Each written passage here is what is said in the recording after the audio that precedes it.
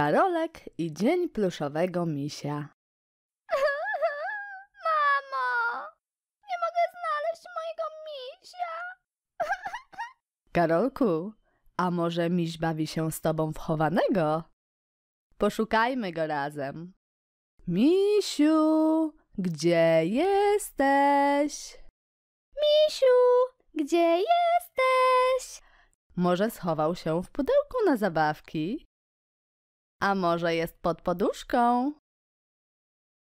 Może jednak znajdziemy go w szafie? Nigdzie go nie ma. Mamo, nigdy już go nie znajdę.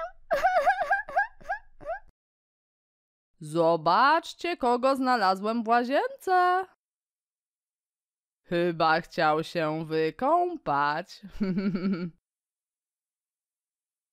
Dziękuję ci, tato. Bardzo się o niego bałem.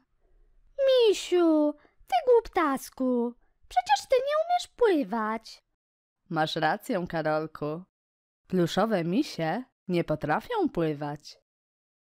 Za to prawdziwe misie, czyli niedźwiedzie, robią to doskonale. To właśnie prawdziwy niedźwiadek był pierwowzorem pluszowego misia. Wiąże się z tym pewna historia. Opowiesz mi ją, mamo? Oczywiście, Karolku. Dawno temu w Ameryce pewien prezydent wybrał się ze znajomymi na polowanie. Jeden z kolegów prezydenta postrzelił małego niedźwiadka. Myśliwy ten przyprowadził przestraszone zwierzątko prezydentowi. Chciał w ten sposób okazać szacunek. Prezydent zrobił coś nieoczekiwanego. Gdy zobaczył przerażonego niedźwiadka, stanął w jego obronie i nie pozwolił więcej do niego strzelać. Cała sytuacja została przedstawiona w popularnej gazecie. Znany rysownik uwiecznił prezydenta i jego litościwą postawę w formie rysunku. Ilustracja ta zyskała ogromną popularność. Zobaczył ją również pewien producent zabawek i postanowił stworzyć nową maskotkę, która wyglądem przypominała niedźwiedzia z rysunku.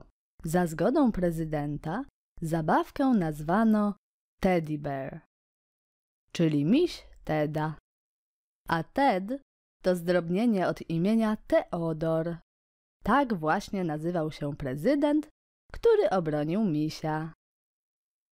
Krótkim czasie okazało się, że dzieci bardzo polubiły pluszowe misie. Każdy chciał mieć milutkiego Tediego w domu. Zabawki były rozchwytywane i zdobyły sławę na cały świat. Jakiś czas temu obchodziliśmy setną rocznicę powstania misia. Od tego dnia misie mają w kalendarzu swoje święto, czyli Dzień Pluszowego Misia. Obchodzimy go 25 listopada. Mamo, a jak powstają takie misie? Pluszowe misie wytwarza się w fabryce lub manufakturze. Najpierw projektant rysuje obraz misia na kartce. Na podstawie tego projektu wytwarza się formę z grubego papieru. W krojowni formę nanosi się na materiał i wycina się gotowe elementy misia. Po wycięciu elementy przekazywane są do szwalni. Tam krawcowa z dużej ilości elementów tworzy postać misia. Kolejny krok to wypełnienie naszej maskotki. Używa się do tego silikonowego puchu. Na samym końcu wyszywa się oczy, nosek i buzię. I miś jest gotowy. Ale to ciekawe, mamo. A opowiesz mi coś więcej o prawdziwych misiach? Oczywiście, Karolku.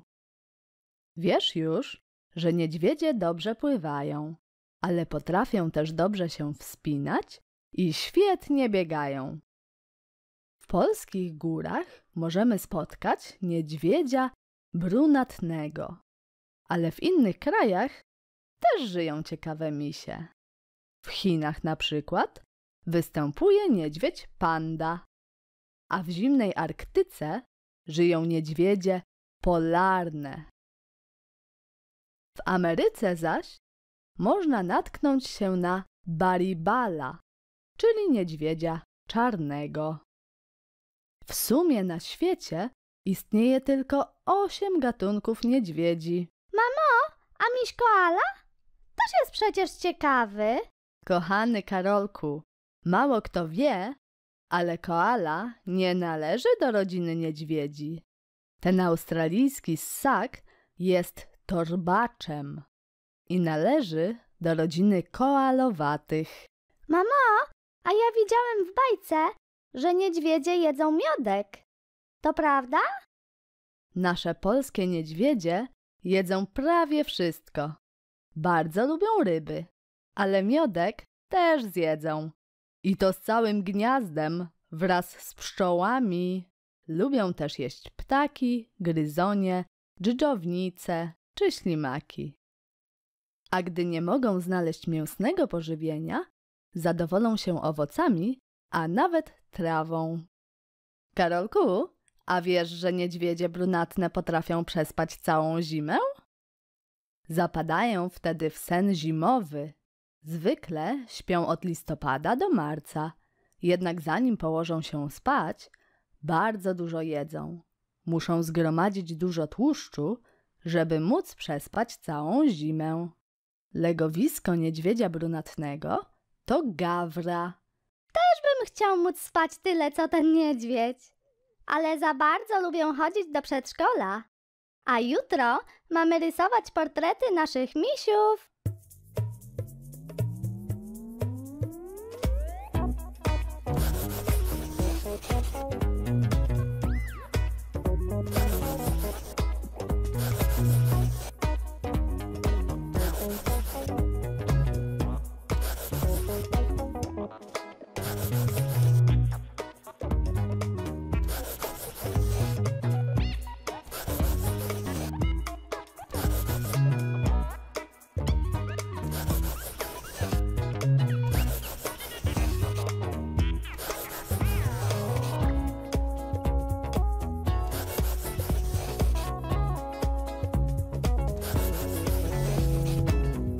Zobaczcie, ale piękny miś mi wyszedł. Wy też spróbujcie narysować misia.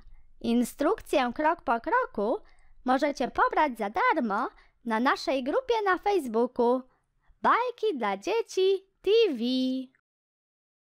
Jeśli Wam się uda narysować misia, dajcie mi o tym znać, klikając łapkę w górę pod tym filmem. Pamiętajcie też o subskrypcji kanału, żeby nie przegapić kolejnych moich przygód. Pa pa!